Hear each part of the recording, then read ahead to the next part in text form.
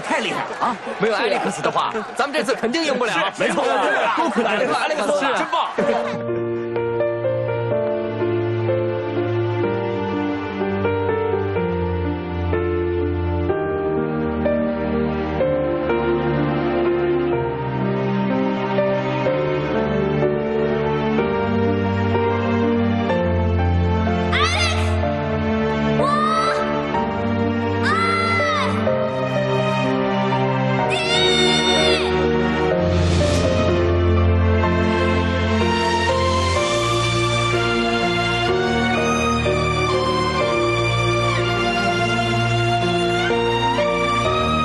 崔琦我在清华等你。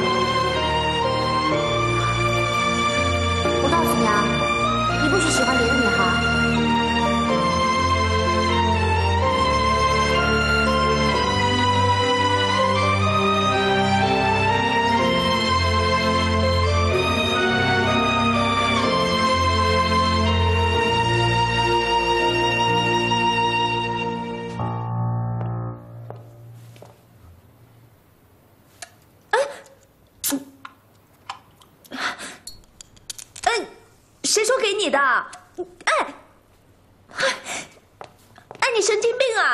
莫名其妙。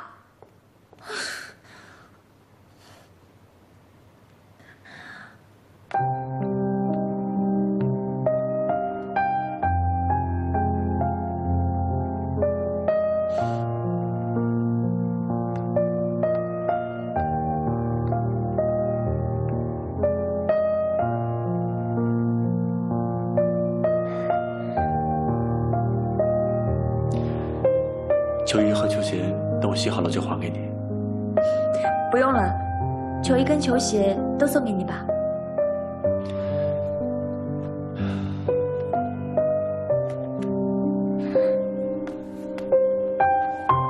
你是不是想起我是谁了？难道不是苏曼吗？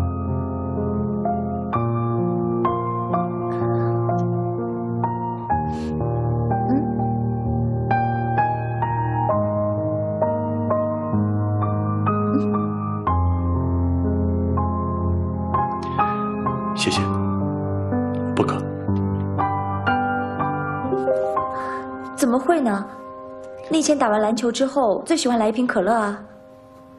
你刚才真的打得很好，就像以前一样，你还记得吗？我不记得了。而且习惯是会改变的，况且我出国以后就没有再打过篮球。要不是今天形势所迫，我想我也不会上场比赛的。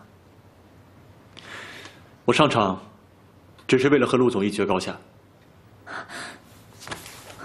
你不是这样的人啊，是吗？那我是什么样的人？你只不过是我的同事，难道你比我还了解我自己吗？不是的，我球衣和球鞋我都不需要了，不过我还是要谢谢你。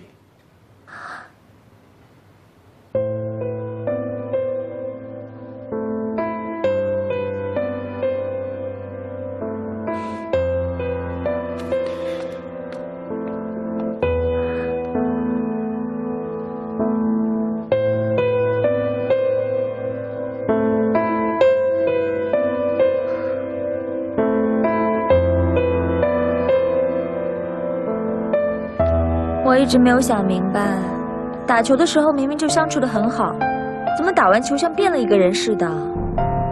没有任何细节可以推敲？没有，那只有一个结论了。什么？他有神经病。啊，小姐，你这样安慰人，真的一点效果都没有哎。不过还是要谢谢你。今天老家来人了，脱不开身，要不然我早就飞奔过去陪你了。没事，你去忙吧。反正我今天没心情喝酒，散个步就回去了。好，情况特殊，十年暗恋一朝喊出。今晚呢，就允许你在深夜街头溜达十分钟，然后乖乖的赶紧给我回家。嗯，好，拜。嗯，拜拜。